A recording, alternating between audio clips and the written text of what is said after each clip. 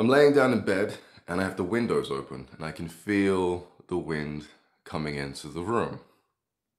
And as I'm in this weird hypnagogic state, I find myself being taken out of body and I'm, I'm now floating, looking at my physical body, whilst the wind that came in through the window turns into four beings. Literally. They each enter into my chest, because there's a, there's a hole in my chest, a physical body. And the last one to come in takes me and pulls me inside along with it. Over the past few months, I've been focusing on Qigong, and it's allowed me to discover some interesting things. It's also led me to certain spirits that I'd like to expose in this video. I like to study a lot not just online, but I mean, like, I like to take an aspect of something, whether it be astral projection, qigong, or some other topic, and I like to hyper focus on that aspect to the point where I start to discover new things about my topic of interest. And it was my curiosity about Qigong and what it does to the body, how it alivens the body, that had me encounter things that live outside. Matter of fact, they're all around you and they do certain things without you knowing. You see, I had to tell you what I did. I realized that when you get out of bed in the morning, sitting up out of bed automatically makes you feel good. And that when you stretch, this stretching exercise actually quickens the body and the mind, right? And then I started to connect stretching just natural stretching that people mostly do unconsciously, heck, even yawning, to certain movements in Qigong practices and how those movements are known to wake you up, right? When you do things like this, palms to the sky or the universe and you come down, it's very much just like when you do this in the morning, right? Now, I know a little bit about science and I know that if you have an erect spine, it allows the body and the mind to turn on a little bit faster because when you're erect, your adrenal glands turn on, signaling to the body and to the brain that you're now alert and awake. When you lie down parallel to the ground, your adrenal glands turn off and you fall asleep. Okay? You see, there's a lot to stretching and yawning and and movement that just goes over our head for the most part.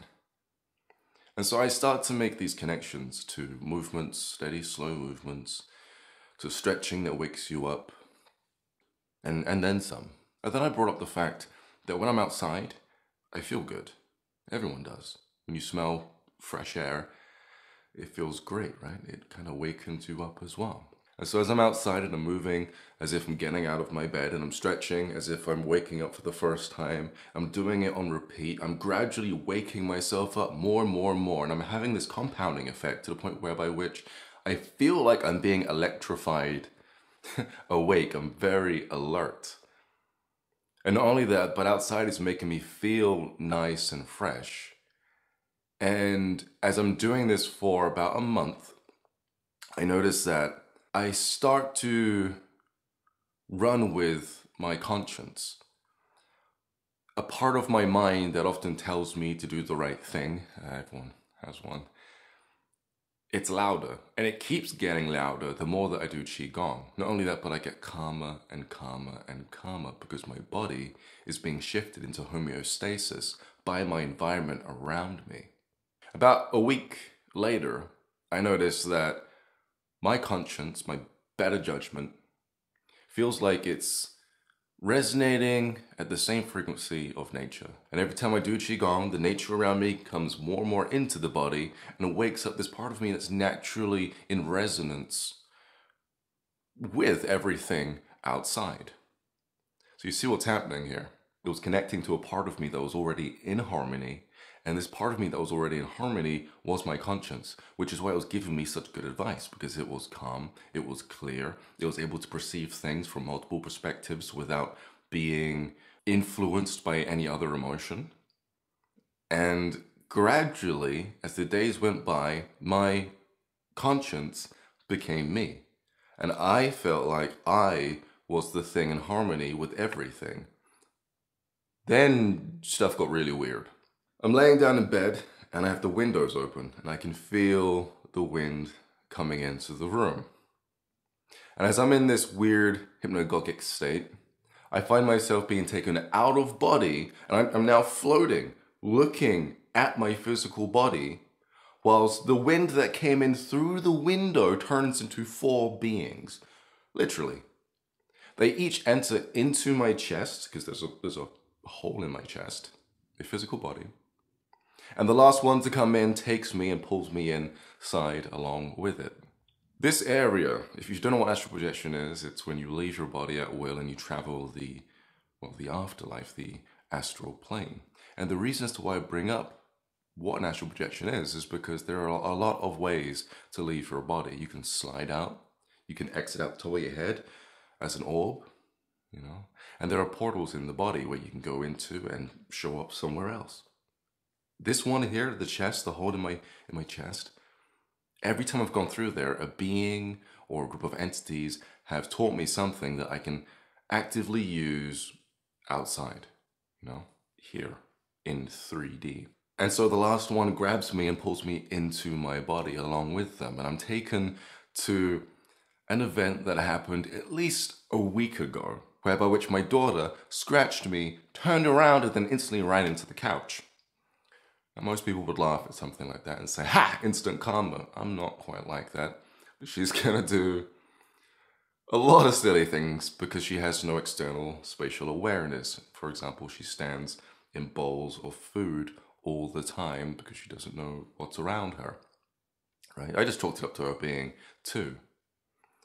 But what these beings were showing me was that same experience that happened a week ago.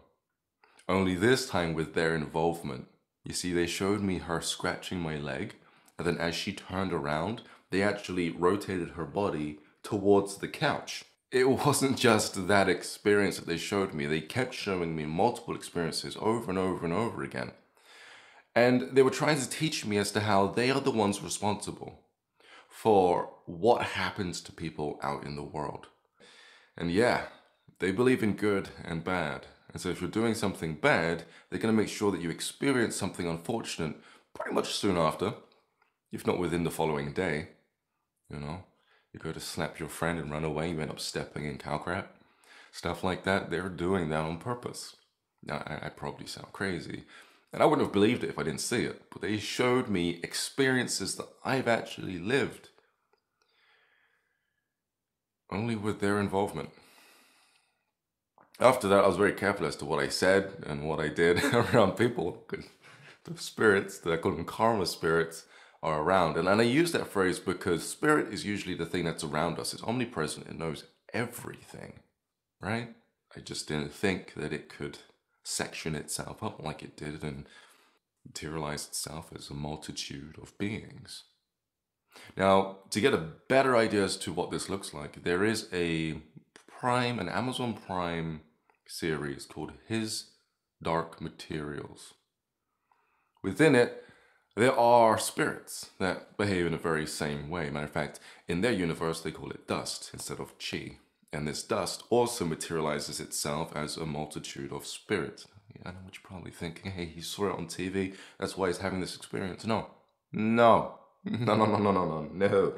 I did not connect the dots. Matter of fact, I didn't even believe such a thing was real. It was on a TV show, right?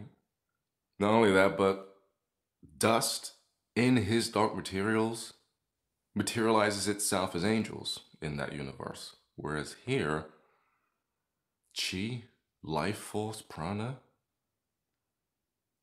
I don't, I don't know what these things were. I'm just gonna keep calling them karma spirits. They made one more appearance shortly after that. I was doing Qigong downstairs. I was feeling kind of low energy, and so I just want to pick myself up. But I do this every now and then to make myself feel better. As I'm doing it, I'm kind of in this uh, mental rut of sorts. I'm trying to think myself through. And I feel again the same intelligence come through the window, only this time it takes me to what I can only assume is the back of my head. I'm looking down at my body and I'm hollow, like an empty vessel. And within my hollow body, I'm seeing this film. It's kind of like an eggshell, but on the inside of my body, and I can see through it. And this filament is representative of my thoughts, more specifically, who I think I am and, and, and what I think my place in the world is. And these spirits are telling me that this thought inside my body is all made up. It's, it's all just my perception. I knew this before, but I, I never saw it like this. I usually say that there's how we see a situation, there's how the situation actually is, and then there's how the other person sees a situation in regards to an argument, right? Say a relationship quarrel, miscommunication, essentially. They just have a different perception on what's going on, and that perception lies within their bodies, within their minds. Well, turn inward on ourselves, we also have a perception of ourselves in the moment and who we are. Not just what we think is happening within relationships, and we're on a completely different page, but with ourselves and our place in the universe. We think we are who we are, but other people see us as something else, and how we actually show up in the world is a mystery to us unless we're completely aware of it. So show me this, and I just choose not to listen to my own perception of myself and instead just to do what I want. And I felt better, and the weeks progressively got better.